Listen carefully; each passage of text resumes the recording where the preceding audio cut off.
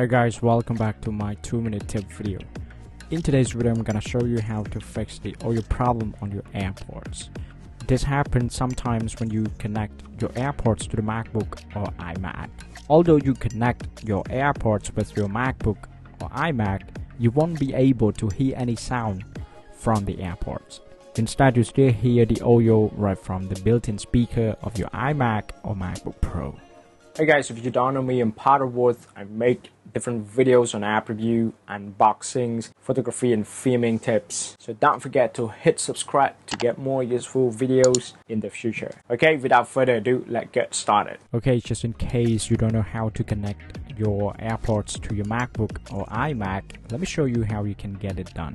So first, you need to open the lid of the AirPod case and hold down the button at the back of the case. At the same time, on your MacBook or iMac, you need to go to Bluetooth uh, preferences by clicking on the Bluetooth icon on the bar and then select open Bluetooth preferences and then you will see the name of your AirPods.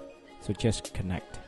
Okay, now let's wear your AirPods and uh, the AirPods should be connected and you can see the green light on the AirPods as well. Well, as you can see now the AirPods are connected to this MacBook Pro. But the problem is, as I mentioned earlier in this video, the audio does not come through to the AirPods. Instead, you can still hear any songs that you're playing right from the uh, built-in speaker. So in order to fix this, you have to go to System Preferences and Sound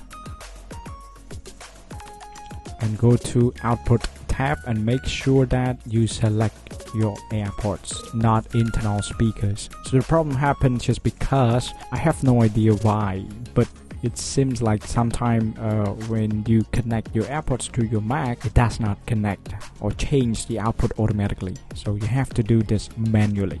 Okay guys, so that pretty much it. I hope you enjoyed this video. Don't forget to subscribe my channel to get more useful videos in the future. And I hope to see you guys in the next videos. Thanks.